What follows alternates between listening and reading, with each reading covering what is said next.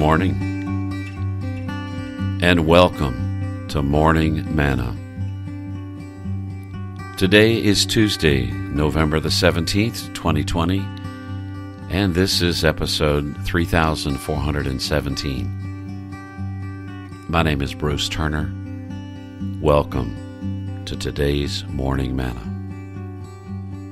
Today's episode is titled Pressing.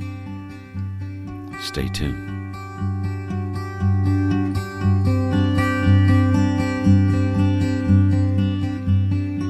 Pressing. Does life seem to be pressing in on you? My wife sent me a picture from the grocery store yesterday where, yes, the paper products are being st- are being lifted away. They're empty. I hope you have plenty of paper products. It's a pressing situation, right? The word pressing requiring quick or immediate action or attention. We're facing pressing situations, are we not?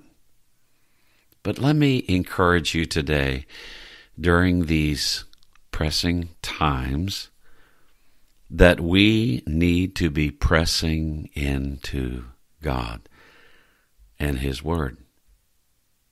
How important is God's Word to you? You see, when we humble ourselves before the Bible, God's Word, Scripture, acknowledging that that it's been given to us by God, we will receive incredible blessings. I'm going to share some of those with you today, but my encouragement to you and I today in the midst of these pressing times that we're living in that it should be a motivation for us to press in to God's word. Why? Well, first of all, God's word leads us to salvation. Although many of us came to Christ by hearing about him from another person, the way of salvation is clearly revealed when you read the scripture John 3:16, Romans 10:9, Titus 3:5, Ephesians 2:8 and 9, right? We're all saved by believing the truth of scripture, whether you read it yourselves or somebody shared it with you. The Bible guides our steps.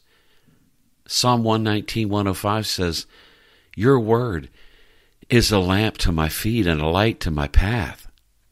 If we press in to God's word, He'll show us where to go, what to say, how to make decisions. Pressing into God's word will give you wisdom. Psalm 119, 130 says, The unfolding of your words gives light, it gives understanding to the simple. Scripture is our greatest protection. It's like a shield before us, guarding our way and warning of danger. But if we neglect to press into God's Word, we won't be able to distinguish right from wrong.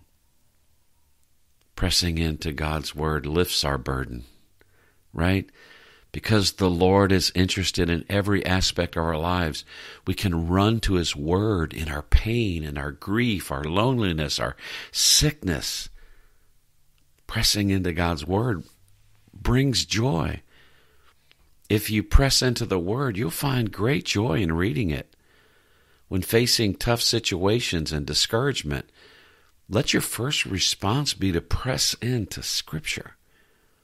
Even if you don't know where to read, God will guide you to a passage that can restore your hope and your joy. And then finally, pressing in to God's Word during pressing times gives peace.